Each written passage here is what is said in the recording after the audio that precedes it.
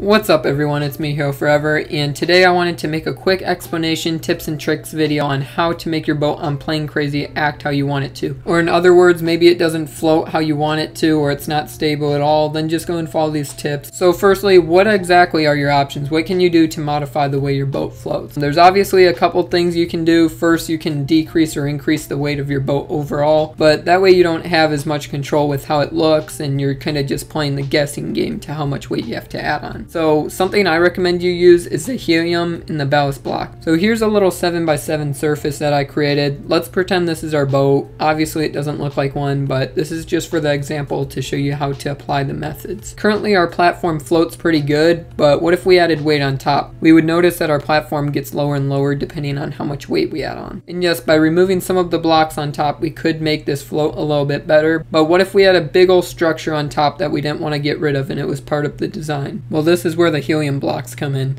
They can allow you to make your boat overall lighter depending on where you put it on your boat. Keep in mind if you put all of it on one side, just in one area, it's going to make that one side really light, and that could create stability issues later on, but we will get to that also. I'll show you a more realistic example now. This is my sailboat. I made it a little while ago, and as you can see, it has that great big old sail up top, which is actually quite a bit of weight, and then it has that little like cabin area in it too. So needless to say, it's super top heavy, and if I put that in without any helium or anything like that, it's just going to fall straight over. But just by simply replacing some of the blocks with helium blocks, it fixes the problem completely. Keep in mind you want to place the helium towards the top because that affects the center of gravity, and if you put the helium at the very bottom of your boat, it raises the center of gravity. So if you notice that your boat's floating okay and everything looks alright, but if you try actually using it, or you take a turn, or maybe you put a little bit too much weight on one side, and it just tips over super easily, that's a stability issue, and that's because the center of gravity is too high and it's top heavy.